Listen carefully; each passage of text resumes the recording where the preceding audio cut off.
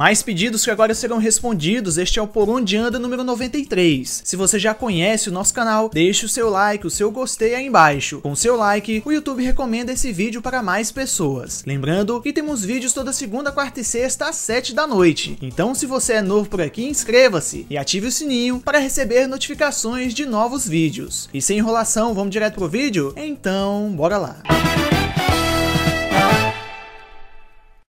O Antônio Ramos pergunta por onde anda Alcione Mazeu. Atriz e ex-modelo Alcione Mazeu começou sua carreira em 69, fazendo um comercial. Virou um dos rostos mais vistos da época, em revistas, editoriais de moda e capas de discos. Ainda desfilou em diversos países, como na Argentina e no Canadá. Sua estreia na TV foi no Fantástico. Ainda foi presença constante em vários humorísticos da Globo, com Chico Anísio, principalmente com o papel de Maria Angélica. Ainda atuou em novelas da Globo, com como em Pecado Rasgado, Baila Comigo e Guerra dos Sexos. O lugar aqui tá ótimo, Oscar, visibilidade perfeita.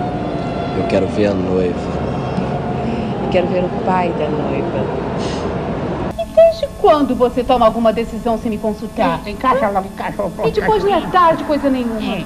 À noite uma criança, não é, Silvia? E assim, e também. Alcione também construiu grande carreira no cinema, atuando em vários filmes e pornochanchadas. Sua última atuação nas telonas foi em 2017, atuando no filme Ódio. Já nas novelas, seu último trabalho foi uma pequena participação em Topíssima pela Record em 2019. Atualmente, Alcione está com 69 anos. Ela é mãe do humorista Bruno Mazeu, fruto de seu casamento com Chico Anísio, que foi entre 75 e 79. O Instagram da atriz está na descrição caso você queira conferir. A Eva Padilha pergunta por onde anda Jaime Periardi. Ele começou sua carreira na TV em 83, atuando na novela Guerra dos Sexos. Antes disso, Jaime Periardi já era ligado ao teatro. Logo, o ator foi ganhando mais papéis na TV. Nos anos 80, atuou em várias novelas, como em A Gata Comeu, Dona Beija na Manchete, Roda de Fogo, Breg Chique, Mandala, Pacto de Sangue e Cortina de Vidro no SBT. Ao todo, Jaime tem mais de 30 trabalhos na TV, com atuações em diversos folhetins marcantes. É, tem épocas na vida da gente que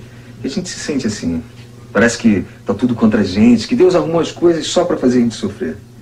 Também já me senti assim. Sabe o que eu tô achando, Lina? Que é melhor botar o pé na estrada, levantar acampamento.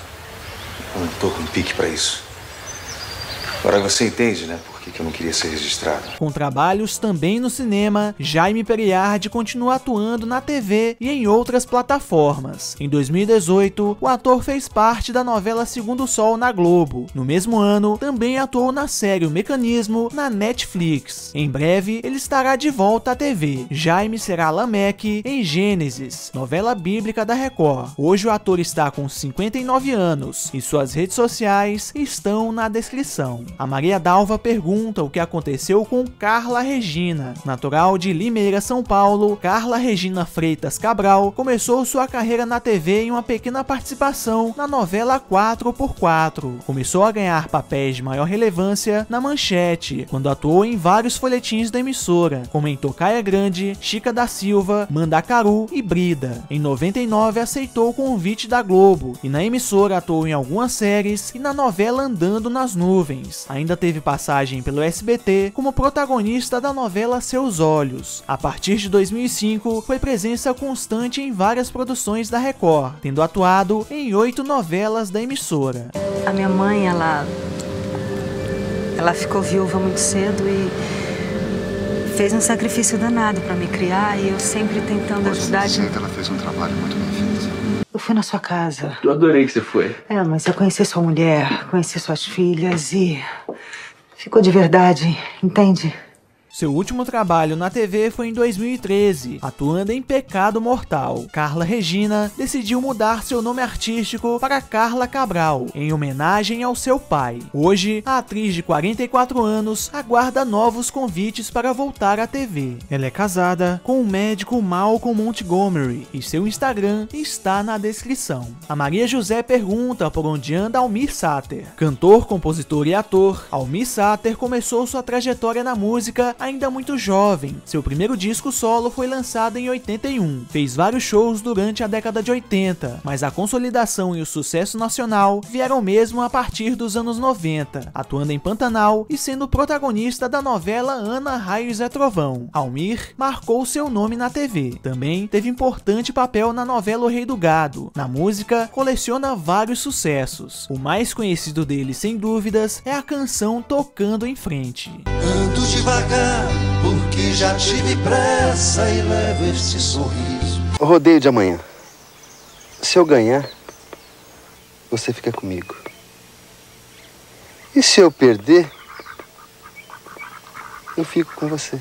Seu último trabalho como ator foi na novela Bicho do Mato em 2006 pela Record. Ele ainda foi convidado para atuar em Cordel Encantado, mas recusou, escolhendo focar em seus shows. Hoje, Almir está com 64 anos. Por conta da pandemia, o cantor não está fazendo apresentações. Ele é casado e pai de três filhos. Um deles, Gabriel Sater, também segue carreira como cantor e ator. Suas redes sociais estão na descrição. O Valdeir pergunta por onde onde anda o cantor Carlos Gonzaga. De família humilde, José Gonzaga Ferreira fazia apenas apresentações amadoras em sua cidade natal, em Paraisópolis, Minas Gerais. Demorou um tempo para ele fazer sucesso. Carlos veio para São Paulo e na cidade trabalhou de várias formas, antes de se destacar em um show de calouros. Logo, foi contratado como cantor fixo da Rádio Tupi. O cantor fez grande sucesso no final da década de 50, com marchinhas de carnaval e principalmente com a canção Diana, que atravessa gerações e é conhecida até pelos mais jovens. Não te esqueças, meu amor,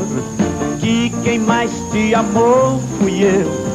Carlos também conquistou outros sucessos, como O Carol e Cavaleiros do Céu. O cantor lançou diversos LPs e CDs durante sua carreira. Ele é considerado um dos pais do rock and roll aqui no Brasil. Carlos também fez alguns filmes. Seu último disco foi lançado em 2005. Hoje, Carlos está com 96 anos e vive em Santo André, São Paulo. Ele segue a igreja Testemunhas de Jeová. Recentemente, ele deu entrevista ao canal Jovem Guarda 50 anos. O link link está aí em cima no card. O Sérgio Carlos pergunta por onde anda o ator Wesley Snipes. Ele é um dos astros do cinema. Wesley Snipes começou sua carreira no teatro em 1980. Logo começou a fazer pequenas participações em filmes e séries americanas, e ainda participou do videoclipe da canção Bad de Michael Jackson. Até então desconhecido pelo grande público, Wesley foi ganhando seu espaço ao longo do tempo. Seu auge foi no final dos anos 90, quando ele protagonizou o filme Blade. É melhor você ficar alerta. O mundo em que você vive é só uma fachada. Tem um outro mundo por trás dele.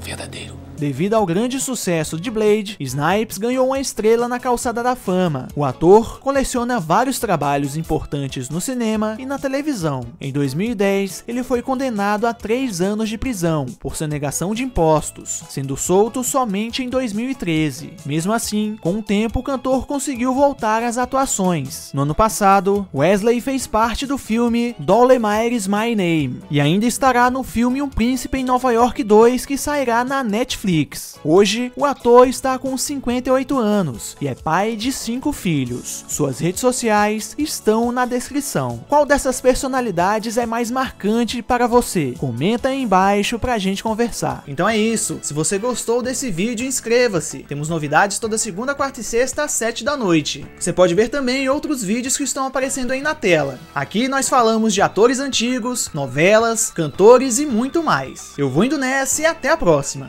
Tchau.